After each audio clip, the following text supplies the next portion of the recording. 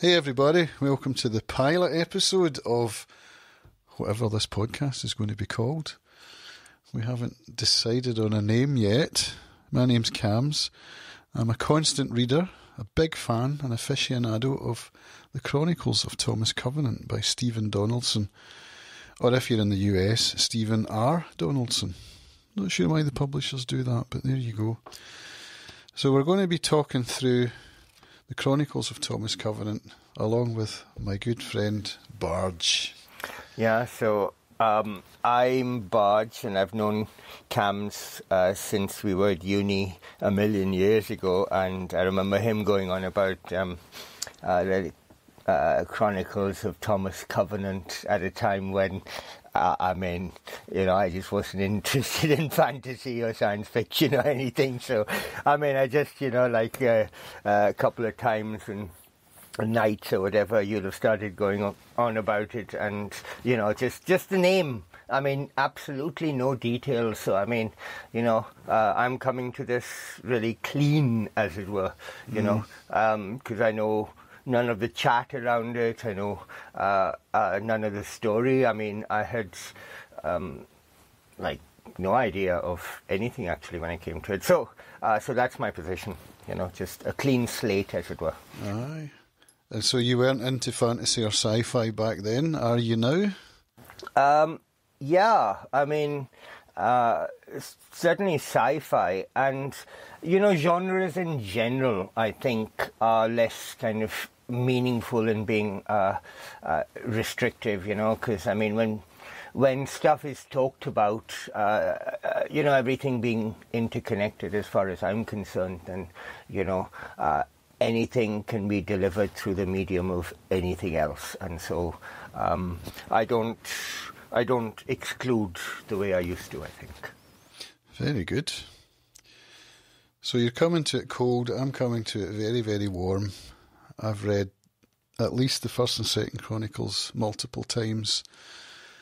Each of the the Chronicles are made up of three books. The first and the second, and then there's a last Chronicles, which is made up of four books. So I'm anticipating getting through all of them. I'm not sure how long it will take. Right, right, right. It's yeah. going to take a while. so the way I see this going is that we're going to read through two or three chapters a week and then hop on a call and discuss it. We're not going to give you any spoilers. I'm going to make sure that I don't jump ahead and drop anything in that I shouldn't and um, I won't be reading ahead of uh, the point that we're going to be getting to at the end of that particular uh, episode. So yeah. I won't I won't be going ahead, and um, uh, if I do spot any uh, jumping aheads, then I'll, I'll point it out. Yeah. So if you want to read along with us, whether you're doing that now or whether it's in years' time, you know, these things are going to be evergreen, I hope. And, you know, I'll just tell you about the inspiration for this. For me, it came from listening to another podcast called Kingslingers, which is all about Stephen King's The Dark Tower series, which I love. I've read the whole thing and I found this podcast discussing the books in great detail. The format was the same. There was a constant reader who'd read them multiple times and a newcomer. And I, I really like that format as a listener. So I'm keen to jump into it as as a reader as well and see see what we can bring to the table. I'm quite surprised at how little content there is out there on the internet about these books compared to some of the other bigger fantasy trilogies or series. So we're going to fill that gap. Hmm. Uh, there's another aspect which um, intrigues me anyway, and I like those kind of uh, personal linkages and relationships. Uh, so you had you had expressed another reason why you wanted to kind of explore these uh, uh, these books in this format. Yeah, it's really to get an idea of what keeps me coming back to these books. You know, I'm now in my early fifties. I first read these in my late teens, at least the first Chronicles, and you know, I was a different person then, you know, and each time I've read these books, I've got something else from it, and I'm very keen to to explore that and see what it is that keeps me coming back to this anti-hero called Thomas Covenant, the Unbeliever. Hmm.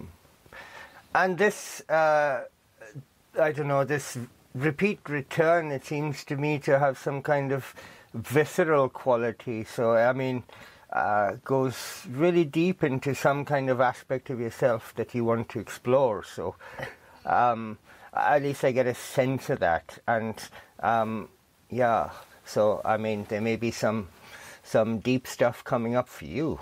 Uh, yeah, right. Yeah, well, for the listeners' benefit, you know, we've been pals a long time and we've had many deep and meaningful conversations through the years.